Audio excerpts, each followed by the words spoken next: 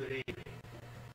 In my first discussion of impacts in human evolution, I covered the populating of Eurasia and Africa. In this evening's lecture, I am going to be going over to the peopling of the Americas. This is all very tentative, nothing's written in stone here. It's my best estimate, pretty much consistent with the data. Now, in here, we have a mastodon and a mammoth. The way I keep them straight is that the mammoth would eat leaves off the trees, and the mastodons would eat the bushes. That's the way I keep them straight myself, and that may be completely wrong as well, based on their teeth patterns. But at any rate, about, say, 40,000 BC, the Moravian corridor was open, and you, this is a uh, map of pre, what they'll call pre-Clovis sites now. But to get to these very early sites, man had to come through here significantly earlier. And that's the period when that corridor is open. My current work is that C mitochondrial DNA, as you can see right here, crossed over into the Americas at that point. It's the only way I can explain the southern distribution of C mitochondrial DNA. You can see it over here and then over here. Uh, that's pretty hard evidence, and based on European experience, mitochondrial DNA is the only thing you can really track in for human population movements. Why mitochondrial DNA is pretty much useless, as men will generally have sex with just about anything. Now, uh, a lot of you may be from Arizona, and you're familiar with the Near Arizona impact. And uh, questions are that that was of 10, net, 10 megatons of force. Here's a picture of it. Give you an idea of the size of this thing, that little white dot down there is actually a house. Give you an idea of the kill zone from the meteor crater impact, the fireball extended out to 10 kilometers. And infrared all of that would go on far further. They're estimating large animals killed or wounded up to 24 kilometers, and a hurricane winds up to 40 kilometers. Essentially, that was probably the kill zone, was that outer uh, ring right there. When you get right down to it. Now, when an impactor impacts, it appears that some of the photons are accelerated to gamma ray radiation levels and split the neutrons of other atoms. These free neutrons lead to carbon-14 spikes. You can see the one from Meteor Crater over here. We have a variability, probably due to supernovas, shows these curves, and then solar variability as well. Still in the process of working this all out. Now, besides uh, walking on land, at this point, man had boats. This is a little drawing from a Spanish map of an Incan catamaran that the Spanish took over and used. It appears that man was in boats very early on. One of the interesting things is you can see this D mitochondrial DNA population showing up here in South America with, with little intermediate. Uh, that is most likely indicative of direct trans-Pacific contact. Now, besides that, we also have this phenom DNA that you see down here. And that is likely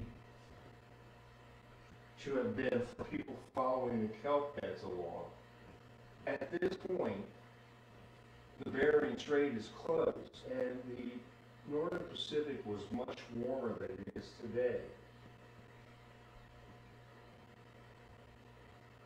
And so again, you can see the B mitochondrial DNA coming along the coast. Now, this is the other opening, the corridor into North America. This was when it came into North America. uh, what they'll call Clovis Earth's first hypothesis. We can see that that doesn't really work to explain the data. This is a variant of Clovis first hypothesis. But, uh, I will point out the mitochondrial DNA coming over at this point, that's highly likely. You can look at the A mitochondrial DNA, but you can see that it's just got the more northern distribution here of the A mitochondrial DNA. There's one population group that was so wiped out over the millennia that they don't show up in the DNA methods. This is my Richard Kizo Akanachi's heritage. Uh, their male adult height was about five feet. Uh, it's likely they came from North Africa based upon later fishing boats being blown off course. They show up in South Africa about 35,000 BC and then migrate north up into North America. One of their distinctive features in the culture of these council houses, which were adopted by other Native American peoples. This gives you a better idea. You can see the people inside. Essentially, it's a wooden cathedral. And so when you see the mentions of the council houses in colonial records, you know what they're talking about. It's also like that those people brought up the fluted point technology, Clovis technology from South America. Clovis first appears upon the Gulf Coast and then spreads from there. And it's technology that appears to have been adopt, adopted by other people. Now I'm going to go back to the map of Manasseh and give you some idea of scale. Here I am. It's not exactly an easy way to make a living. Now, it's been noted that there were monks in this area that contained large numbers of mastodon and Man Megafaunal.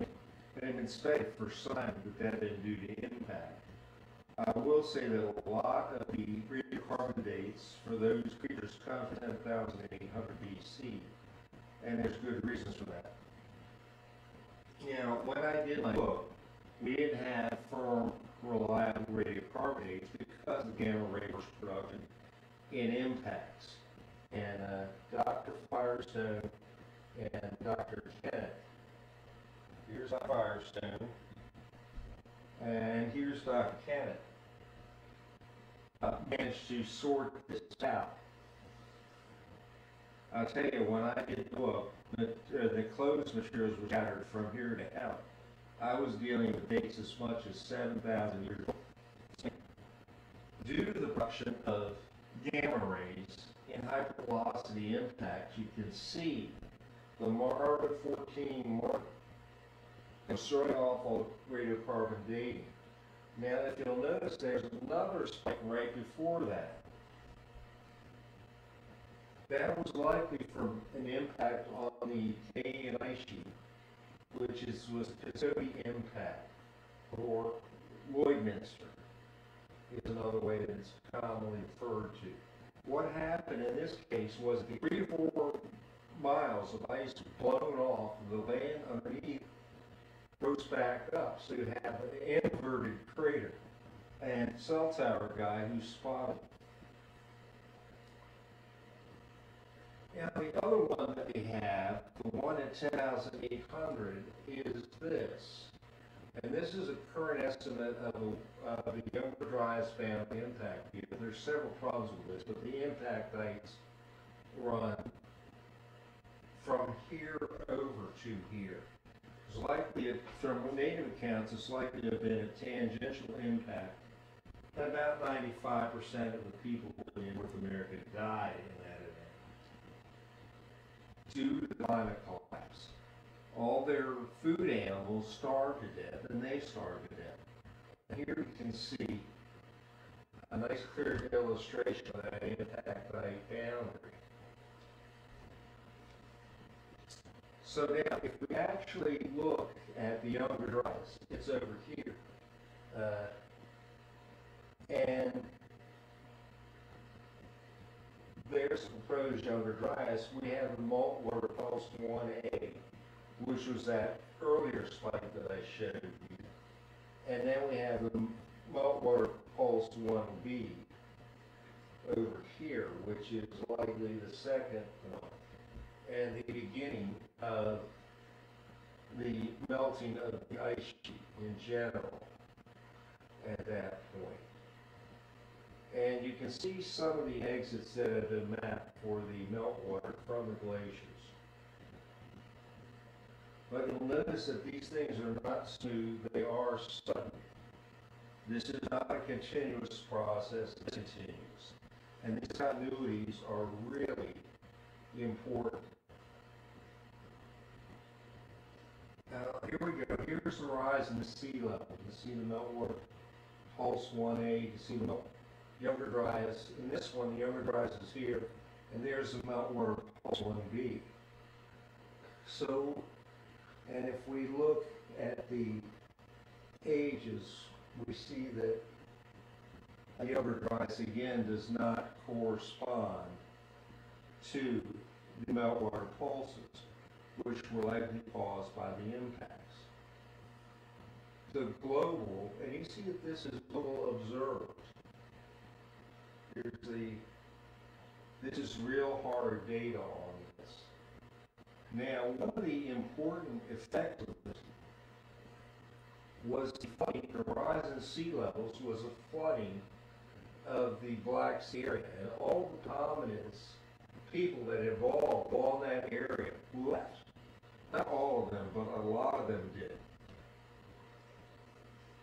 In North America, I believe that they were the ancestors of the Andes, known as the Susquehannocks to the Virginia colonists.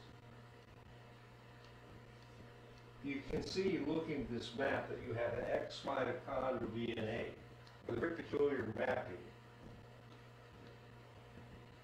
around the Black Sea and then into North America right there.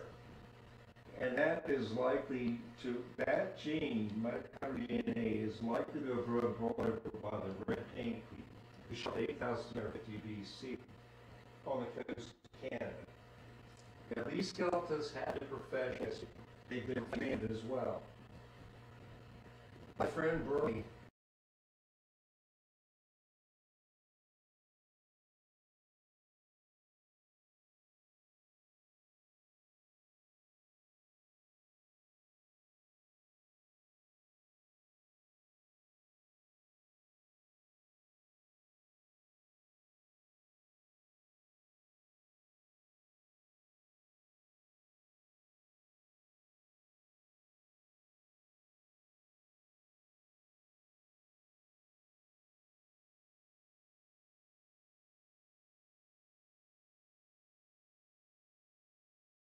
when you wish upon a star. Makes no difference who you are. Anything your heart desires will come to you like a boat out of the blue Fate steps in and sees you through. Mama, when you wished upon a star, your dreams come true.